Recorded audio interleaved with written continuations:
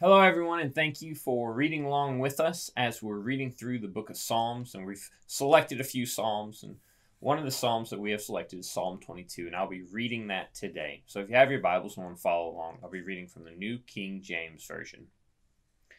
My God, my God, why have you forsaken me?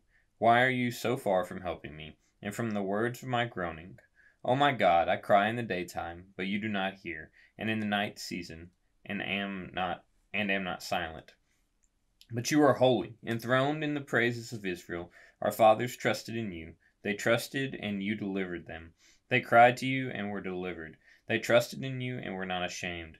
But I am a worm, and no man, a reproach of men, and despised by the people. All those who see me ridicule me. They shoot out the lip, they shake their heads, saying, He trusted in the Lord. Let him receive let him rescue him. Let him deliver him, since he delights in him. But you are he who took me out of the womb. You made me trust while my mother on my mother's breast.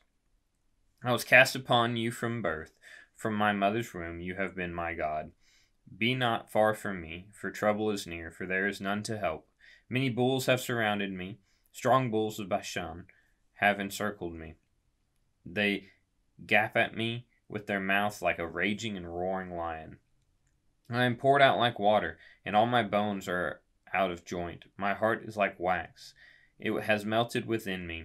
My strength is dried up like a potsherd, and my tongue clings to my jaws. You have brought me to the dust of death, for dogs have surrounded me. The congregation of the wicked has enclosed me.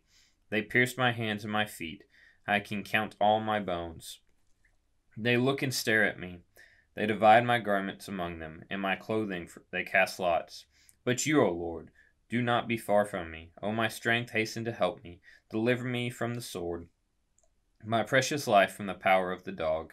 Save me from the lion's mouth, and from the horns of the wild oxen. And you answered me.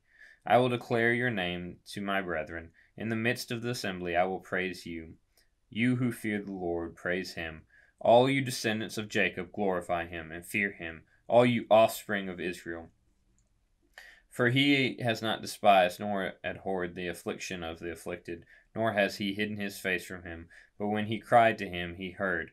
My praise shall be of you in the great assembly. I will pray my vows before those who fear him. And poor shall eat and be satisfied. Those who seek him will praise the Lord. Let your heart live forever.